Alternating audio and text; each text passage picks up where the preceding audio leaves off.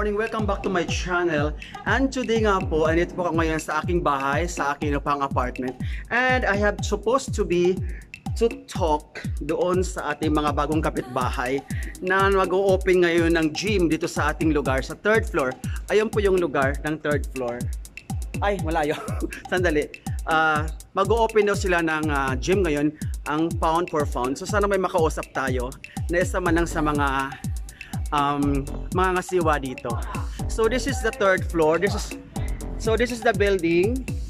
Ayan po yung building namin and nabalitaan natin na mayroon uh, bagong open na gym dito, yung pound for pound. So, sana mayroon tayong makapanayam para sa ganun ay ma-update ko kayo sa mga ganap sa aking buhay. So let's go! Nasa Hi! Nas ano pangalan niya? Hello! Ito po yung aking mga kapitbahay. Hello! Kaway-kaway kayo kuya. Ayan yung aking mga pogi at gwapong kapitbahay. Nasaan na? Si ate. Sino po din? Hello! Hello neighbor! Sino? Hi kuya! Hello, nagbablog po ako tungkol sa mga bagong open business. Sino gustong pwedeng kausapin? Sa YouTube ko po ito. Ah, yes po. Uh, napalitan ko kasi na mayroong bagong gym sa taas.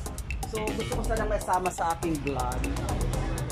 Hindi kayo muna interview muna kung ano yung opinion, whatever. Okay lang.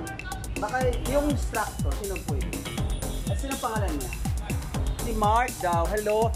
Guys, uh, si Mark po ang ating kakausapin ngayon this morning about dito sa bagong gym na bubuksan po. So guys, uh, sana si Mark? Mark! Nasaan si Mark? Kunting ano lang Mark. Na nahiya yata si Mark. Ha? Bakit si Mark ba yung nakaupo dito? Ang ganda mo eh. Ay, Mark! Ganda mo daw eh. Ang dali lang Mark. Kunting ano lang, Kemi lang. Ayan, dalabas na po si Mark. Hi Mark, ako yung kapitbahay mo. Huwag ka na mahihiya kasi ang promotions na ito. Hindi na. Kasi gusto kong i-vlog yung ano. Huwag ka na mahihiya, ito ka lang. Kunting chika lang. Ikaw naman, mukhang, mukha ka na po mga artista. Nahihiya ka. Ayan po si Mark. Ito ka Mark. Hi Mark! Hello! Ayan po. Ang pangalan mo is Mark. Ayan ako naman si Martini. Ayan po. Nakilala ko na po yung aking kapitbahay. Kasi nung isang araw, sabi ko, parang mayroon akong kapitbahay na bago. So, kayo pala yun. Ano na kayo katagal nag-stay dito? One week na po. Ay, one week. Ayan po si Mark. One week na dahil sa gym dito. Okay. Yung anong pangalan ng gym? Pound for pound. A pound for pound gym. So, ito yung branch ng Novaliches. Oo. So, ano yung uh, position mo dito? Coach ng gym. Ay, naku, pwede mo pa. Mag-enroll ako, ha? Ha? Mag-enroll. Bukas pa? Agad-agad? Diyos ko, uh, mag-enroll ako sa gym at saka sa puso. Charot.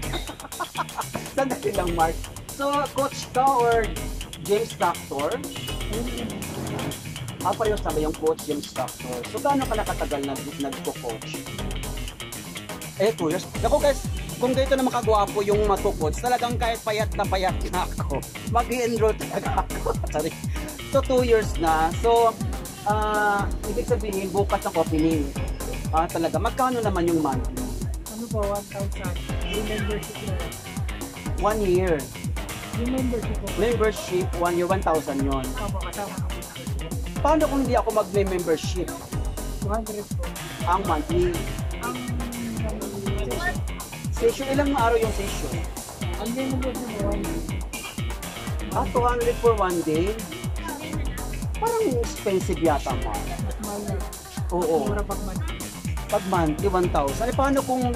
So, yung session ba, sinasawag ng per session, ilang araw yan o is, sa isang buwan? Ang araw na. So, pag 1,000 Ay, unlimited. one.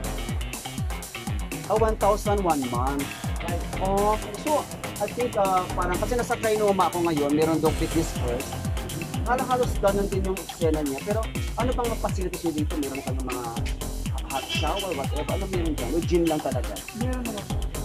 Ah, Ginagawa ko lang. ginagawa pa lang. Ay, ganun ba? So, oo. So, ano-ano mga equipments yung hahawakan niyo pag 1,000? Dati sa rin ang limited po yun. Okay? unlimited na. Meron ng mga, kasi feeling ko si Pia Worsbach, yung ating mga beauty queen, is sa pound for pound sila nag enroll para magpa-slim down na.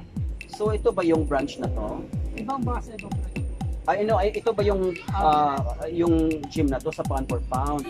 So September 14, bukas na yun, Saturday. So ayan guys, um, ay, like, ikaw lang ba ang ano? Ah, si Kuya din? Instructor din si Kuya? Opo, tapos Ah. ah. nagmamanage Ah, nagmamanage. But the owner itself, what?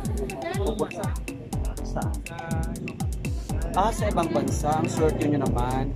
So, ah, mapapapayat mo ba ako? Matay mo ang tabak ko ngayon.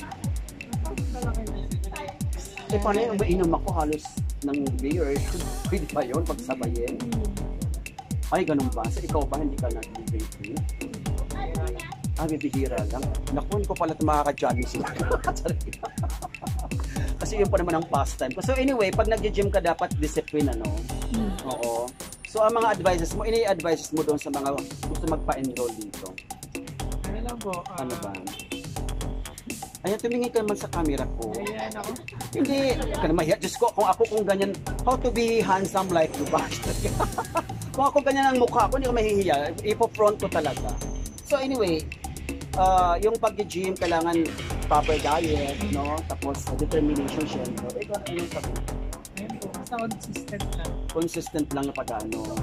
So, tuturuan mo ako kung ano yung mga floors na bubuhatin ko. Gagawin Ah. naman namin yun. Ay, gagayad mo Ay, ako. ay. O, ay, Diyos ko kasi mga muscle ko, pang babae ang muscles ko. Tarin. Baka naman magkabato-bato ako, Mark. Ay, ko naman bato-bato ako. Gusto ko lang, gusto ko lang yung bewang ko ang magkakaroon ng abs. Ang bewang talaga magkaroon ng abs. Hindi pa yung tummy. so, yung, be, yung gusto ko lang mag, ano lang, loose lang yung ganun ko. So, ang unang gagawin dyan, ano, eh, mag-jogging-jogging ba ako? Hmm, Basta tuturo namin yun. Hmm. Dahil Oo nga. Pero sandali, to, 200 per day? Ano yan? Hanggang magdamag na ako. Uy, alam mo, titinan ko nga yan kung ano yung sinasabi mong 200 per day. Kailangan maakyat ko yan bukas, no? Kasi feeling ko, ah, kasi sa bayan kasi, hindi na mas pagka-compare. Alam ko naman iba naman ang pound per pound. Sa bayan kasi merong ah, 40 pesos, 50 pesos ng mga gym na ganon. Pero I don't think so na meron silang nakatutok na instructor. No? Bahala kang bumuhat nung kahit na ma, kahit mabagsakan kaya ang dumbbell, wala silang pakialam.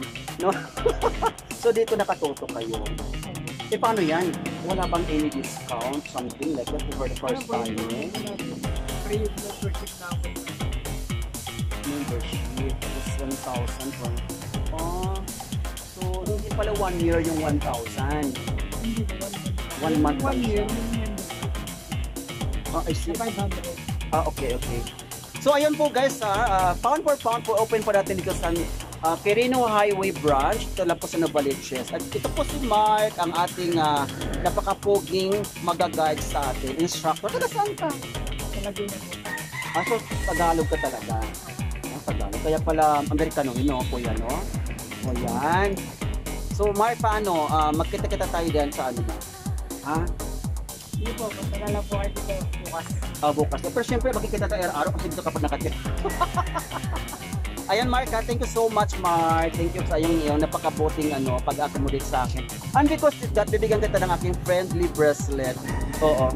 Ito po uh, pupunta kasi ako sa mga churches like Padre Pio, sa Barasuen Church, Malolos. Kasi meron akong friend na napaka-devoto. So ito may mas may bas-bas na ito. Eh, kunin mo yung una. Sa'yo na yan. Ikaw, sign of friendship. Ayan. Ayan po, bibigyan ko si Mark na ano. Suotin mo yan, Mark. Ha? Gusto ko makita sa'yo yan.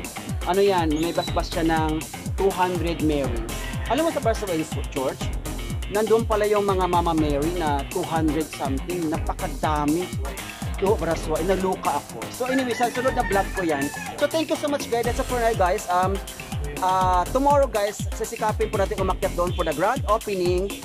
Ito, soft dry run or soft opening talaga?